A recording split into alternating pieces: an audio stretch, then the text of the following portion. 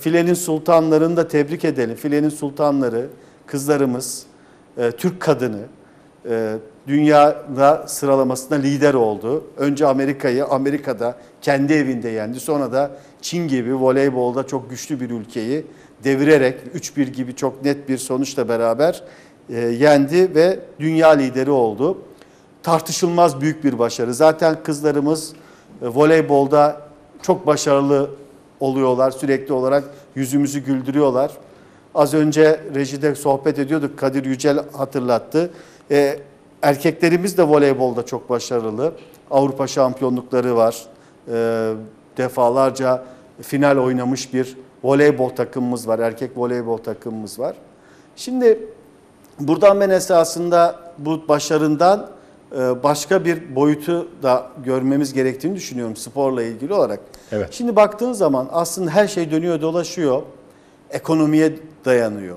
Şimdi bugün işte bayan voleybol takımımız ya da erkek voleybol takımımız çok başarılı olduğu zaman normal koşullarda gençlerimizin koşup hemen voleybol takımlarına yazılması gerekir. Değil mi? Basketbolda bir başarı elde ettiğimiz zaman hemen gençlerimizin basketbol takımlarına e, gidip yazılması gerekir ama maalesef bu hareketlilik olmuyor. Neden? Çünkü basketbolda, voleybolda, handbolda, su topunda, efendim yüzmede, okçulukta, güreşte, boksta, olimpiyat şampiyonu da olsanız e, yani futbolda eskiden ikinci, üçüncü lig vardı. İkinci, üçüncü ligde e, oynayan bir takımdaki bir forvet kadar para kazanamıyorsunuz.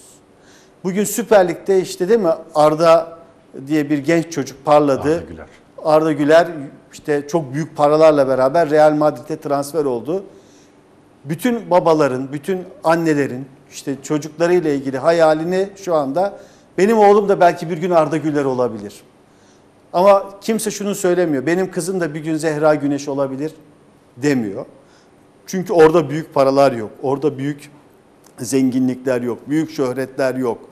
Büyük bir efendim önünüzde ekonomiden bahsetmiyorsunuz. Daha mütevazi, daha küçük çapta bir ekonomiyle beraber Evet. e, kulüplerimiz yönetilmeye çalışıyor. Burada bir cümlem olsun. E, ismini yanlış okumayayım diye e, not aldım. E, voleybol e, dünya lideri olunca voleybol takımımız TRT spikeri takımımızdan ilk İlkin Aydın hanımefendiye şöyle bir soru sordu. Şampiyonluğu kime armağan ediyorsunuz diye bir soru sordu. E, İlkin Hanım önce bir şaşırdı ve TRT muhabirine şöyle bir tepki verdi. Dedi ki bu ne biçim bir soru dedi. Yani nasıl bir soru soruyorsun sen dedi. Ben dedi burada kimi temsil ediyorum? Biz kadın voleybol takımı olarak kimi temsil ediyoruz dedi. Türk kadınını temsil ediyoruz, Türk milletini temsil ediyoruz. Doğal olarak dedi bu şampiyonluğu, bu liderliği Türk milletine, Türk kadınına armağan ediyoruz dedi. Kime armağan etmemizi bekliyorsun diyerek sert ve çok haklı bir tepki gösterdi. Maalesef e, içimize sinmiş bir ayrımcılık ve bir siyaset var. Siyaseti ve ayrımcılığı her yere taşımak istiyoruz. Bari voleybolu, basketbolu, okçuluğu, güreşi, halteri bu kafalardan uzak tutalım.